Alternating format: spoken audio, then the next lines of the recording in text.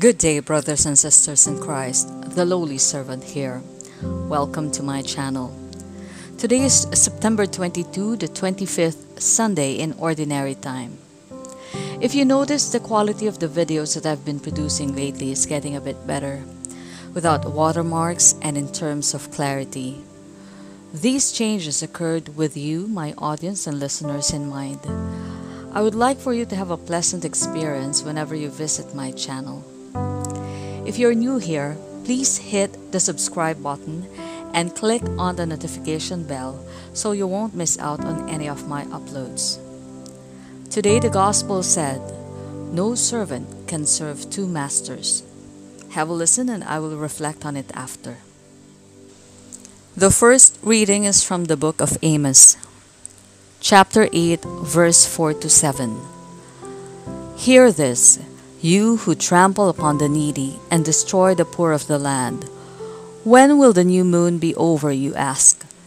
That we may sell our grain and the Sabbath, that we may display the wheat? We will diminish the ephah, add to the shekel, and fix our scales for cheating. We will buy the lowly for silver, and the poor for a pair of sandals. Even the refuse of the wheat we will sell. The Lord has sworn by the pride of Jacob, Never will I forget a thing they have done. Responsorial Psalm. The response is Praise the Lord who lifts up the poor. Praise you servants of the Lord. Praise the name of the Lord. Blessed be the name of the Lord, both now and forever. Praise the Lord who lifts up the poor. High above all nations is the Lord, above the heavens is his glory. Who is like the Lord our God, who is enthroned on high, and looks upon the heavens and the earth below? Praise the Lord who lifts up the poor. He raises up the lowly from the dust, from the dunghill he lifts up the poor, to seat them with princes with the princess of his own people. Praise the Lord who lifts up the poor. The second reading is from the first letter to Timothy, chapter 2, verse 1 to 8.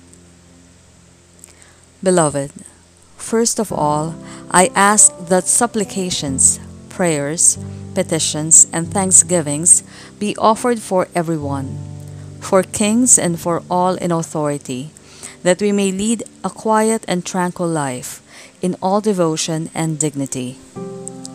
This is good and pleasing to God our Savior, who wills everyone to be saved and to come to knowledge of the truth. For there is one God. There is also one mediator between God and men, the man Christ Jesus, who gave himself as ransom for all. This was the testimony at the proper time. For this I was appointed preacher and apostle. I am speaking the truth. I am not lying.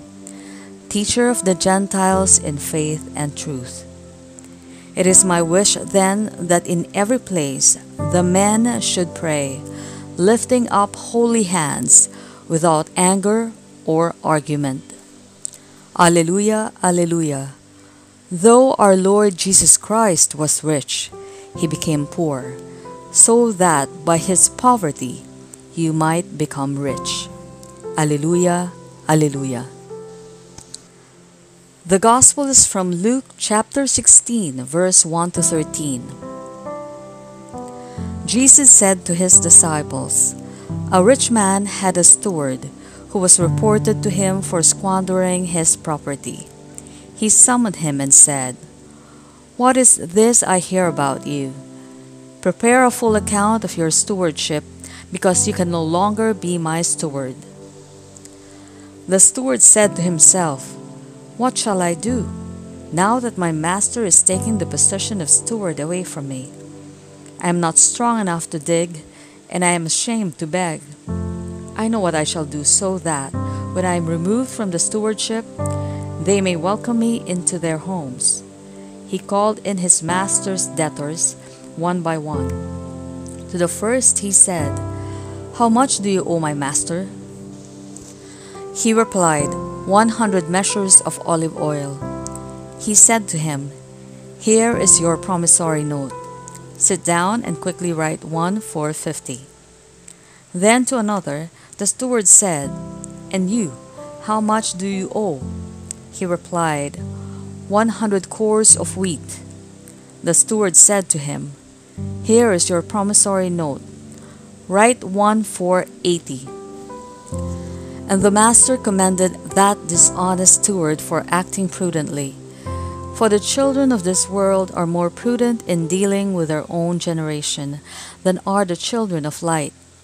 I tell you, make friends for yourselves with dishonest wealth, so that when it fails, you will be welcomed into eternal dwellings. The person who is trustworthy in very small matters is also trustworthy in great ones and the person who is dishonest in very small matters is also dishonest in great ones. If therefore you are not trustworthy with dishonest wealth, who will trust you with true wealth? If you are not trustworthy with what belongs to another, who will give you what is yours? No servant can serve two masters. He will either hate one and love the other or be devoted to one and despise the other. You cannot serve both God and mammon. No servant can serve two masters. Of course, the servant here is us, and the masters are God and wealth. God is saying no one can worship Him and give too much importance on the accumulation of wealth at the same time. You can't concentrate on amassing wealth personal gains and expect to have eternal life after. Just like what the homily said last week, there should be a measure of sacrifice for us to enter the kingdom of God. We are all children of God, and as His children, we are being taught through these Gospels what our role is on earth to spread the word, so that we can bring along our brothers and sisters with us when it is time for us to be with Him. Achieving wealth has nothing to do with that, except if you use that wealth to help others. I mean, all of it to help others. So, what's the point of money? Yesterday's reading said you only need food and clothing to live, and that's it. It can't be plainer than that. It means we should shoot for a simpler life. But of course, these are changing times. Every day we are bombarded with merchandise that we just have to have. A new model of a cell phone that we need, or a restaurant that we need to visit right away. And with the emergence of the internet and the popularity of the social media, we tend to be sidelined by all these things.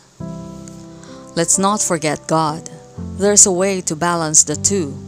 Actually, balance is not the right word because God should be tipping the scales. God should be the center of our lives. If you are immersed in the social media, you can use these venues to evangelize. Most assuredly, a different way to evangelize to people, but still is evangelizing. And with the greater number of people to reach, you can spread the word faster. Thus, the reason for this channel. The simple act of sharing this video to your family and friends can be considered evangelization in your own way because you are spreading the good news. That's all for now. Have a great day and always keep God in your hearts. Peace to all.